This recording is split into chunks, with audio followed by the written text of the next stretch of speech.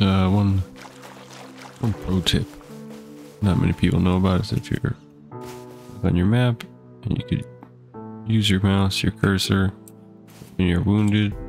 Uh, let me just get wounded here. Down and you're wounded. As soon as you press G, you can't move your mouse and all you have to do is right click and it'll set a pin right on your body. You can keep re-right clicking if you're crawling. And yeah, it's just a cool tip. It works really good, especially if you're out in the ocean. You'll get a pin right on where your body bag will be. Pretty cool pro tip.